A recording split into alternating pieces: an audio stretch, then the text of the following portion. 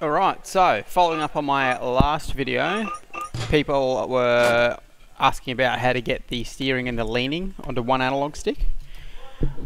And so, how to do that.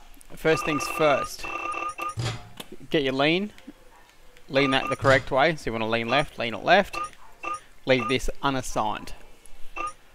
Hit done, hit exit, type in MX Bikes go to profiles, go to controls, up the top in your lean axis now you want to control C and copy that, close that, reopen MX Bikes,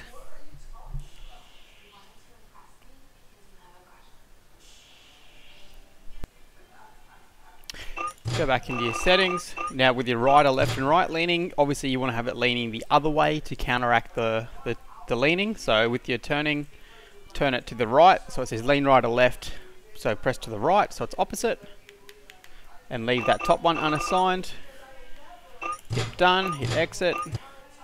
Back into MX bikes open up the controls. Up the top control V paste that in save that. Out open up MX bikes again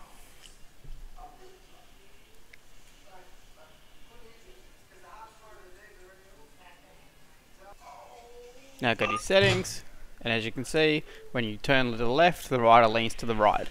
Vice versa, easy done, one analog stick, all of it's customizable, your gains, your losses, everything, easy as.